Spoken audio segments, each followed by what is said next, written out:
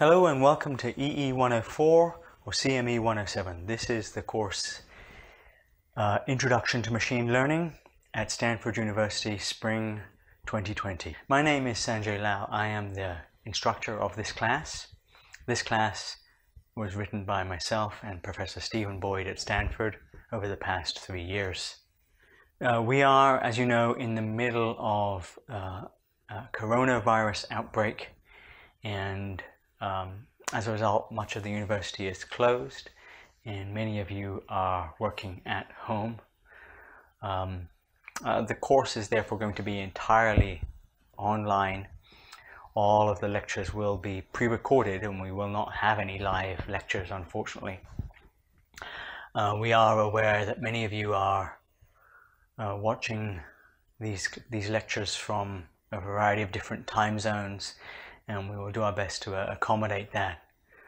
Uh, we will post new lectures every Tuesday and Thursday morning and uh, we will hold office hours uh, uh, via Zoom. Uh, due to the current situation, there will be no exams in this class. all classes in the School of Engineering are going to be credit and or no credit only, and this class is no exception. Um, uh, but there will be homework. Uh, it will be uh, given out weekly. Uh, the homework will be about half programming and the other half will be conceptual questions, maybe a little bit of mathematics.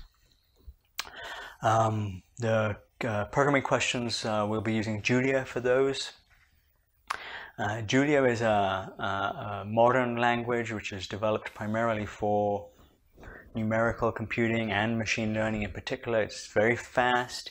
It's got a very uh, nice syntax, which makes it uh, very simple to write uh, sophisticated programs. You do not need to have a very sophisticated understanding of the Julia programming language. Uh, most of the coding that we will do in this class is very short scripts. We will be using the Flux machine learning package that is a, a package that sits on top of Julia. There are some prerequisites in this class, uh, in particular linear algebra. We will be using a lot of the notation of linear algebra and we will need you to uh, be familiar with things such as least squares and a basic understanding of eigenvalues and eigenvectors later in the class. Uh, we don't need anything more sophisticated than that, so any first class in linear algebra will cover enough. Similarly for programming, we do need you to be able to write code uh, but very simple code will suffice. As I said, we're going to, only going to be writing short scripts, uh, but you do need to be familiar with how to bring data in, how to generate plots, how to understand what data types are. You don't need to have any understanding of complex data structures or object-oriented programming or anything like that. Uh, probability is a co-requisite, not a prerequisite. So uh, any basic class in probability will do. Uh, you can, uh, if you haven't taken it up until now, you can take it concurrently with the class and that's fine.